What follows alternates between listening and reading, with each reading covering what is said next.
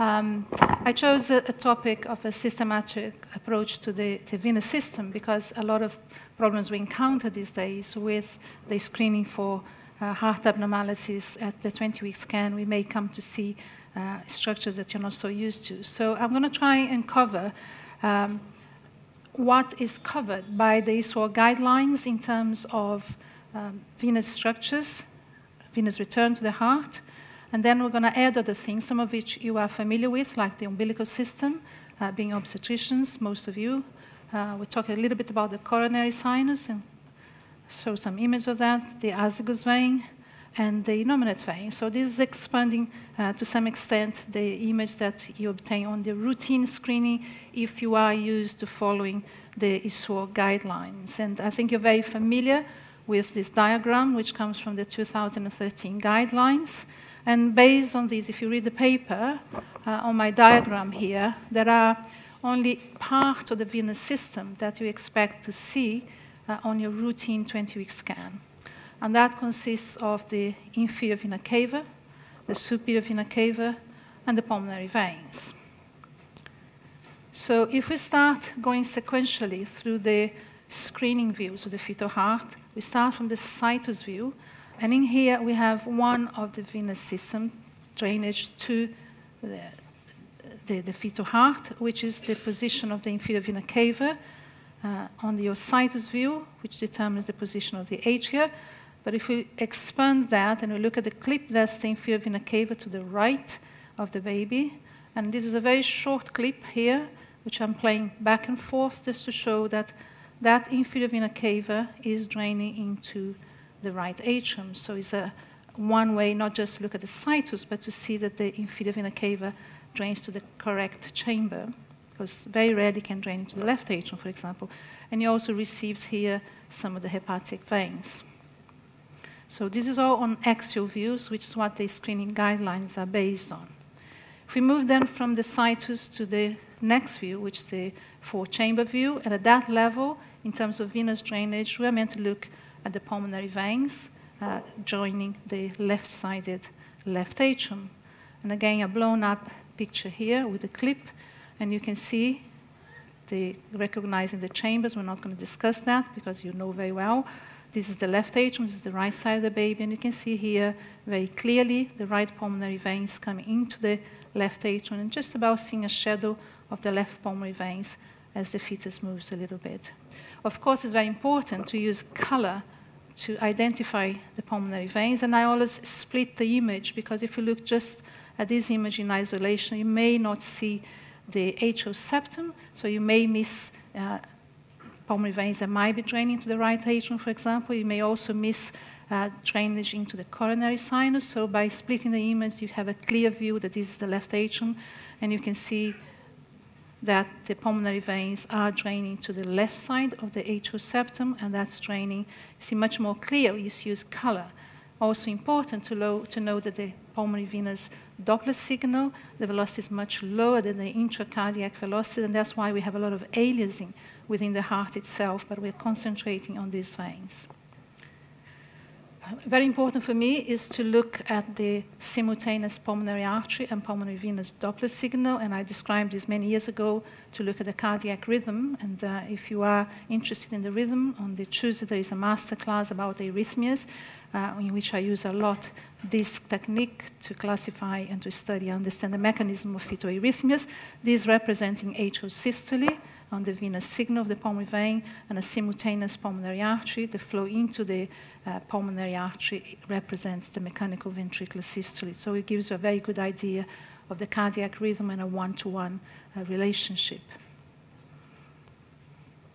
So then we move, move to the other views that we can assess venous drainage, which are higher up in the mediastinum, and that's a combination of the three vessel and the three vessel trachea view, and you're familiar with that, in which you have uh, the, from left to right, the pulmonary artery, the aorta, and the superior vena cava. So these are all uh, axial views. You can see here a little bit already of the azygos that we'll talk about later on. So it's not meant to look at the azygos on the screening guidelines, but obviously we're always trying to do more uh, for our babies in our screening program. So that's the kind of screening guideline. You only assess that on the uh, axial views. And some of you may just be starting to do cardiac screening, so you may just be sticking to those views. But obviously, we can see these structures from all sorts of projections. And uh, a typical view here of looking at the systemic venous drainage is a sagittal view, because you can do a sweep on a sagittal plane between your SVC, superior vena cava, aorta, and pulmonary artery on this sagittal plane. And as you can see here, that is the superior vena cava draining into the right atrium. You see the right atrial appendage here, and you have the inferior vena cava coming from below across the diaphragm and joining the right atrium. It's called the bicaval vein. And you already you can see here some of the umbilical venous return. So it's quite nice to see that joining and seeing the longitudinal view of the inferior vena cava. So if we come to our uh, diagrams, so those are really very basic assessment of venous return to the heart, uh, which we can expand by looking at multiple views. And then we have additional uh, drainage to the fetal heart, which is the umbilical vein. A lot of people forget that you know, some, the blood has to go somewhere once it goes through the fetal umbilicus, and that's crossing into the foramen ovale, into the left atrium. Uh, we also have the coronary sinus, and the coronary sinus is the venous return from the heart back into the heart. We know about coronary arteries, so they supply the heart, they give the oxygen, they give, they give the, the glucose, and that blood, once it's used, has to return to the heart. So it returns here through the coronary sinus and it opens into the right atrium. So that's a normal structure. Sometimes easier to see, sometimes not so easy, but you need to be familiar with how it looks like so you can identify abnormalities as well. So that's the coronary sinus, cardiac venous return to the heart. And then, excuse my diagram here, try to make it very clear. The, we have the azygos vein. The azygos is a normal vein, which normally drains onto the right into the superior vena cava. And of course, we have the venous return from the top of the body, the arms and the head, and that comes from the, uh, from the head on the left side, from the head here on the right side, and it crosses over just above the aorta, and it joins the superior uh, vena cava, which is the innominate vein, also called left brachiocephalic vein. And these structures are very clearly seen on the routine screening. So let's start with the umbilical venous return. And you're very familiar, I presume being most, uh, mostly obstetricians, on a sagittal view, we have here the umbilical vein, and if you use a velocity that's appropriate for the venous systems, you are going to identify some aliasing. That's a kind of a blurring of the color because you are uh, passing the Nyquist limit of the velocities, and the umbilical vein drains kind of very close to the heart and is directed towards the left atrium. If we look at a, a venous uh, cross-sectional view through the abdomen, we have here the umbilical vein. Note the velocity is relatively low, similar to the pulmonary vein. So you can do a sweep from umbilical vein to the heart and look at the, all the veins at the same time and then increase your velocity for the cardiac views. So you can see that's just starting to have some aliasing here. So umbilical vein comes in, it narrows down, and it comes into the inferior vena cava, and you can see hepatic veins coming here and joining. So the umbilical venous return, high velocity, joins the inferior vena cava, and that's directed towards the left atrium. So again, as I said, the velocity around 20, 25 centimeters in mid-gestation. And that's the Doppler signal across the ductus venosus. Again, you're very familiar, very interested in the A wave because that's important if you're monitoring your babies with fetal growth restriction. So um, more and more, if we incorporate the, the ductus venosus in your cardiac scan, we come across absence of the ductus venosus, which has no hemodynamic implication for the baby, provided it goes through the liver and is not uh, inserting itself in one uh, another extracardiac structure. So we have here the stomach, we have the umbilical vein coming in, and if you compare this with the previous one, we have the portal vein coming to the right and the portal vein going to the left. That's the inferior vena cava. And these are quite prominent, but we can't say yet that there is no ductus venosus. We need to see the venous return coming back into the inferior vena cava without a direct communication between the umbilical vein and the inferior vena cava just here. So this is the same fetus, uh, just moving upwards a little bit towards the fetal chest. That's the umbilical vein. Those are the portal veins.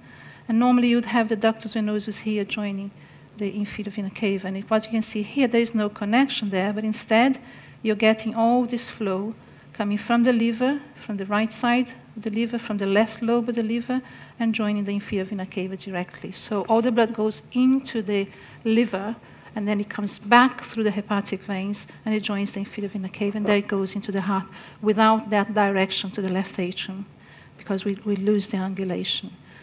So we see more and more of this. A lot of the time, this is a variant of normal if you see nothing else wrong with the baby, but it can be and has been recognized to be associated with genetic syndromes, particularly Noonan syndrome. So if your nuchal translucency is increased and you have no ductus venosus of this type, you should consider uh, Noonan syndrome, particularly if the nuchal is persistent in the second trimester. And also, uh, perhaps there is some association with chromosome abnormality. So just look wide through the baby, so that can give you extracardiac context uh, starting from the venous return. This is another abnormality of the umbilical venous return, and you see here the angulation is completely different. This baby happened to have a high risk NIPT for trisomy 21, but also has a ventricular septal defect. So this baby almost certainly has a trisomy 21, and we have here the umbilical vein coming in. It has a tortuous, tor uh, tortuous course here before it joins the inferior vena cava, and we did have a structure here like a ductus venosus, but it's a completely abnormal course. Um, if we go in a kind of slightly sagittal view, this is using the SMI flow uh, in the second trimester. You see that the inferior vena cava is dilated because the umbilical vein is joining almost at 90 degrees. That's the inferior vena cava coming here. That's the umbilical vein. And it joins in the wrong angulation and is uh, receiving virtually all the venous return here, dilated uh, inferior vena cava. Sometimes there is cardiomegaly. In this case, there wasn't because I think the ductus venosus was restricting the blood flow uh, velocities across the, the, the fetal heart. So we move from the umbilical circulation, then we come to the uh, coronary sinus, which, as I said, is a normal structure. Uh, and this is a structure that is at the back of the heart, so you're moving from your abdominal views into your four chamber view. And before you get to your four chamber view, you will see sometimes very prominent here a ductus uh, coronary sinus opening to the right atrium. And then as you come more anterior, you can see a normal four chamber, and you don't see that anymore.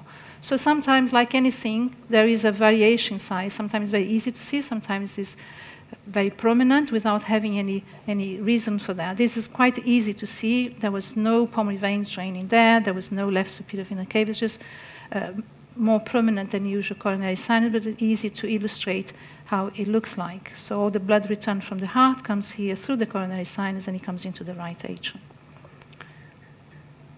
So a dilated coronary sinus, if you see that prominent, and then you see a circle here, as we show in, in subsequent clips, you have to think of a, an additional superior vena cava, which could be bilateral cava, it could be just a single left superior vena cava, and quite rare uh, to see, but it does exist, total anomalous pulmonary venous connection to the coronary sinus. So this can be quite tricky, and you, you have to have seen something before to suspect that.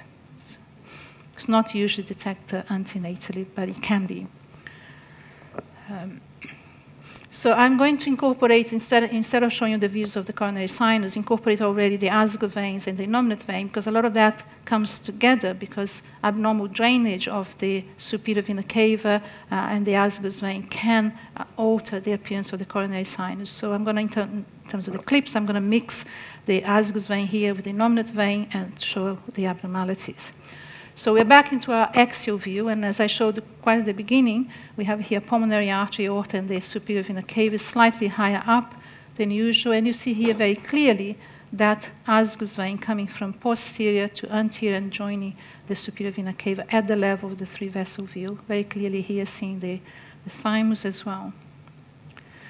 Again, on a sagittal view, uh, this is not the aortic arch, uh, this is coming from right to left, and this is the azygos vein, which in some babies is very prominent, in other babies more difficult to see. But with new techniques, with uh, high definition uh, color and power, we can quite often see the, the azygos vein draining here into the superior vena cava. This is the same features I showed you before.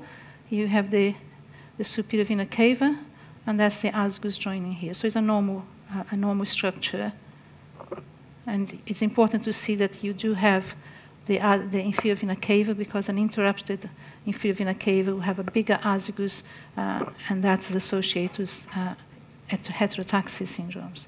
So on color flow, again, a sagittal view showing the superior vena cava coming here, and you see here baby's breathing. So depending on the breathing, you get more change in intrathoracic pressure, so you get variation in the amount of flow coming directly from the inferior part of the body and joining the superior vena cava.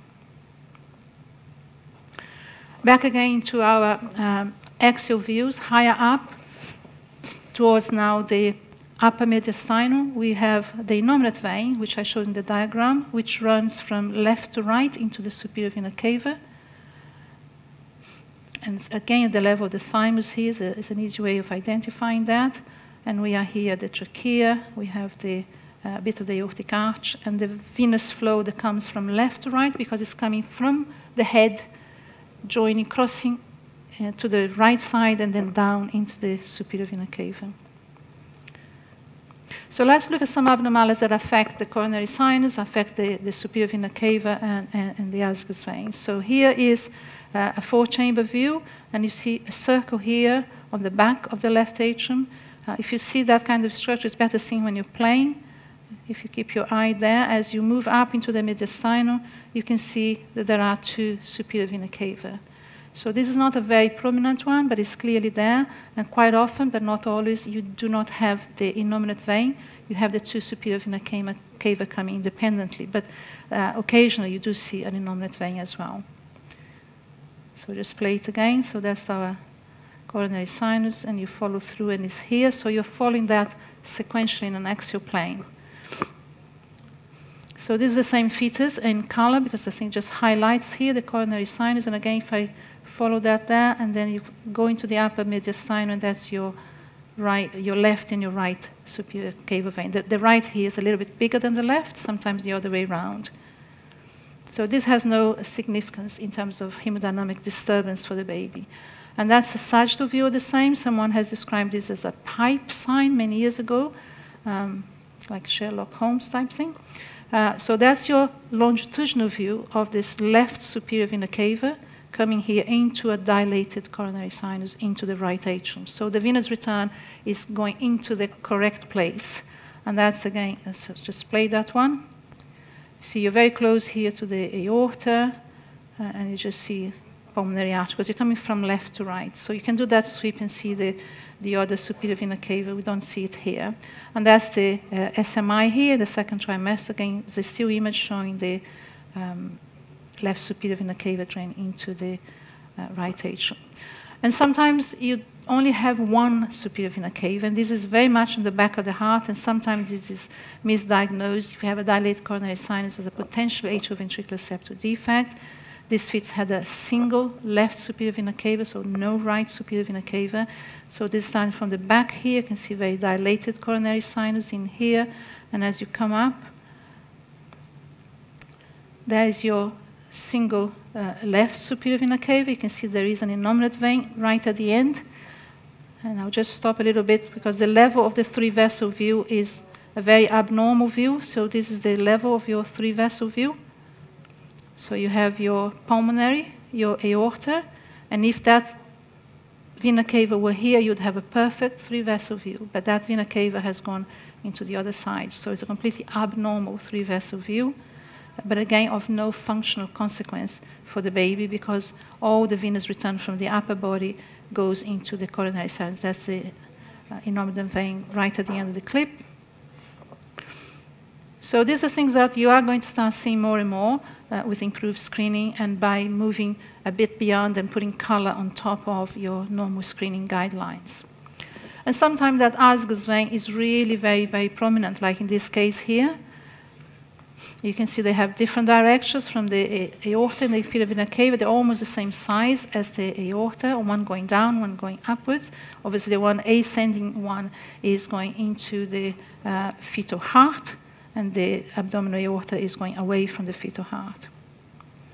So on your basic views here, you'd have, uh, in your situs view, you have the azygos, which is posterior to the aorta. It can be on the right or can be on the left. Uh, in this case, he's on. The, I think this baby had a, a right-sided stomach, so this was a case of isomerism with an azygos. And then on your three-vessel view, you see how big that azygos vein is here, joining the superior vena cava, that's your aorta. and you see flow in different directions because it is coming from the back of the body into the superior vena cava and into the right atrium, uh, and that's the normal aortic arch.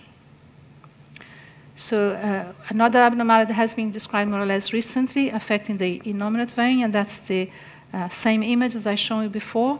You have the innominate vein running here from left to right, and this is what's called an intrathymic uh, innominate vein. You can see the thymus is in here. This is part of the thymus, so it runs more anteriorly and it has a curvature, sometimes quite prominent. Uh, it doesn't seem to cause any problem. To my knowledge, it hasn't been associated with any chromosomal abnormalities or anything. So it's kind of a, a variation uh, of the norm as well. And you can see the flow runs from left to right into the inferior vena cava. Just the baby's in a different position, but the, the flow direction is the same from left to right into the superior vena cava of no functional consequence. So, very briefly, I hope I have uh, uh, shown to you that uh, beyond those very basic short axis view of the inferior vena cava, the superior vena cava, and the pulmonary veins. You can add color, you can do sagittal views, and you can start looking at the other structures. Uh, I believe a lot of you do the ductus venosus for your assessment of growth restriction, but you may or may not have incorporated that into the assessment of the fetal heart. So I think if we include superior and inferior vena cava, we should include the umbilical venous system as well uh, if we're doing routine fetal echocardiogram. I've briefly scanned this baby before. It was uh, cooperative. Let's hope it's still like that. So, uh, as always, uh, has changed position. No, more or less the same. So, although we use a cardiac scan, are you projecting there? Yeah. I, uh, first thing I would do is to change the depth a little bit, just to have an idea of the whole fetus, because Otherwise, we don't go straight to the heart. So head is up, baby is in a bridge position. As I'm moving down here, you see the spine is on the right. We can see the four chambers already. And then lower down, we have the baby's uh, abdomen. So then after identifying our laterality, we know the head is up, we know where the spine is. Just trying to see where we can optimize this image. I'm going to put a zoom box. I think we might have to scan through the baby's back.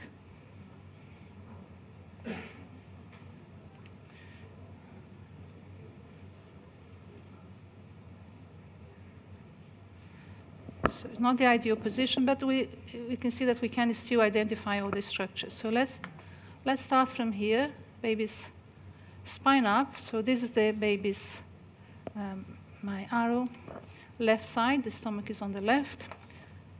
So we, you can see that the umbilical vein is obfuscated by the spine. We can go a little bit sideways, but if not, let's go through the sagittal views because we have to take the opportunity. There we are. The other thing is you have to be able to see very quickly, and I'm just going back because I could see the bicaval vein there. There we are.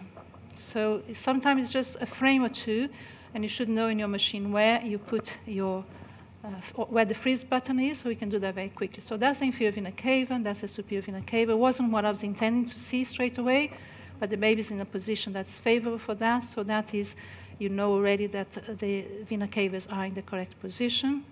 So let's go back to our abdomen. So let's start from here. So heart is on the left, we can see umbilical vein. It's always good in this case to start with color to see the venous system. And you can see here that the velocity is quite high because we start in a cardiac preset. So I'm going to drop that velocity. And just by dropping the velocity, you can see that we're bringing out all the information. Did nothing else. Now we are on 17, about 20 centimeters per second. And you can see beautiful, the umbilical vein. That's a gallbladder uh, to the right side.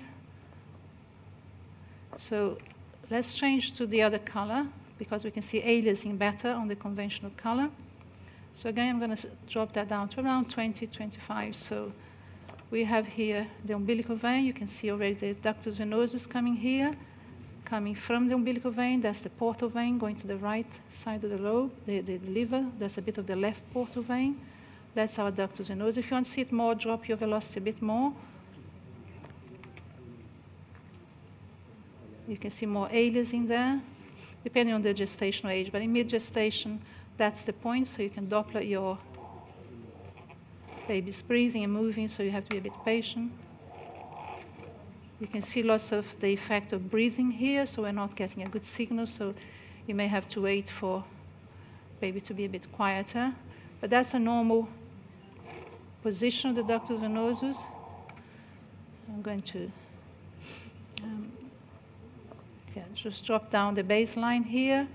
Um, obviously, I'm doing very quickly. That's your A wave, S wave, D wave. It's a high velocity. It's the highest velocity in the venous system. Is the uh, the venous duct. The highest velocity on the arterial system is the arterial duct. So if you come out the pulse wave,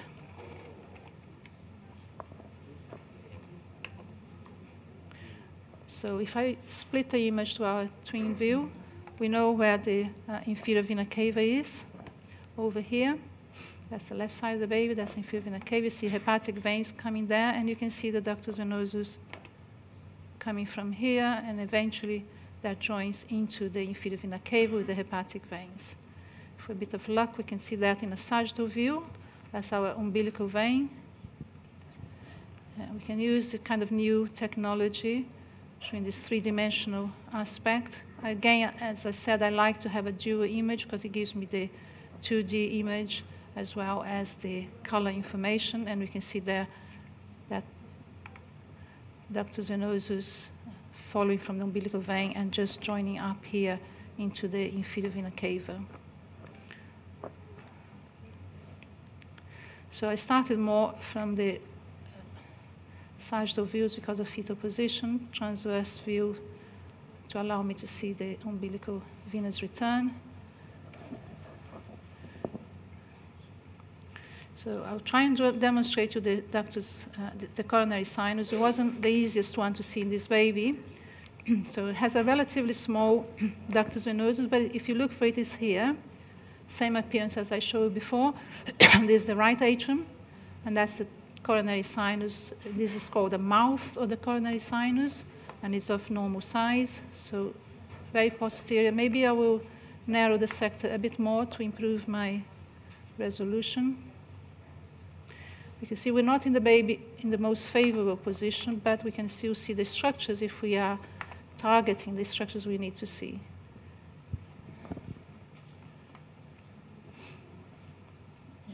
Lost the ductus venosus from there. Let's move into the superior vena cava. Let's try and find a slightly better position from this baby. We've seen the superior vena cava on the sagittal view.